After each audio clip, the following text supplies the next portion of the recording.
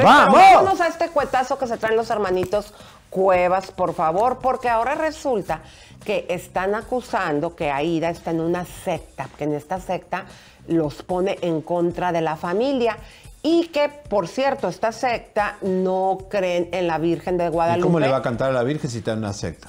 Vamos a Adelante. ver. Yo siempre he sido un hombre de paz. Yo no estoy peleando, yo me estoy defendiendo. No hay pelea alguna de mi parte para allá.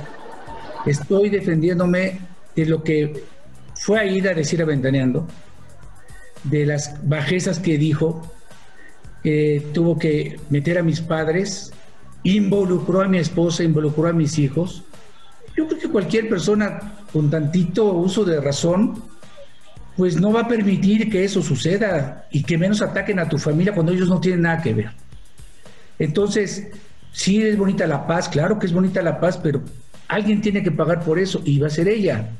¿Por qué? Porque se metió con mi familia, única y exclusivamente. Yo creo que cualquiera de nosotros que estamos aquí lo haríamos y saldríamos y pondríamos un pie adelante para defender a nuestra familia. Entonces, hasta las últimas consecuencias, ni modo. No me gustaría ver a mi hermana en la cárcel, jamás, a nadie, a nadie de mis seres cercanos ni queridos. No me gusta ver a nadie sufriendo menos a ella. Lo único que quiero es que repare el daño, se acabó. Lo único, ¿cómo? Ya lo dijo el licenciado, el Ministerio Público sabrá cómo ejercer eso, esa, esa pena o condena, como se diga, y, todo, todo listo y ya no nos veremos, no nos volveremos a ver jamás, o no sé si se pueda volver a ver a, mi hermana, pero, pero tiene que pedir una disculpa, no hay de otra. No quiero ni cárcel, no quiero nada. Yo quiero nada más que repare el daño, como dicen, integral. Mañana, por ejemplo, va a cantar las mañanitas a la Virgen del Tepeyac, pero tenemos documentado que ella pertenece a una secta religiosa que incluso niega el milagro del Tepeyac. Entonces, ¿ante qué estamos?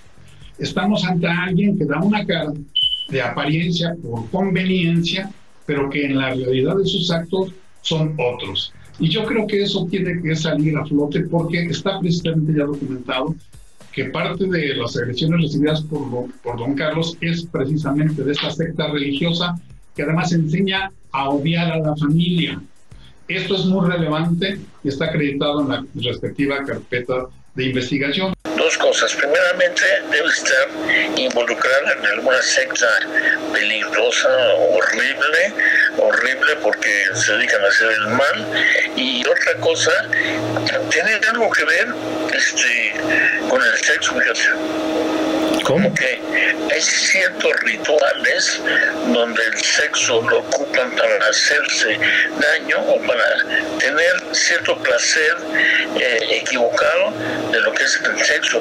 Entonces, Carlos cuando se da cuenta de todo esto está, desesperado, él mismo no ha tenido tanto trabajo porque lo ves que está angustiado, que está enojado con la vida.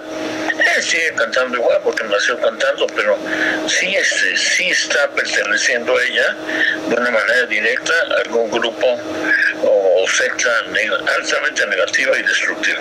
Qué fuerte, lo que está diciendo. Un día como hoy, además, bueno, no sé. Oye, y que vaya a cantarle, si esto es verdad, que vaya a cantarle a la Virgen todos los años. No, no, es una no locura. crea en eso. Eso- ella. esto, es- esto es una locura, ya, ya no sabemos qué, qué pensar. Un besito a Elizabeth y Araceli, que son fan de nuestro programa también.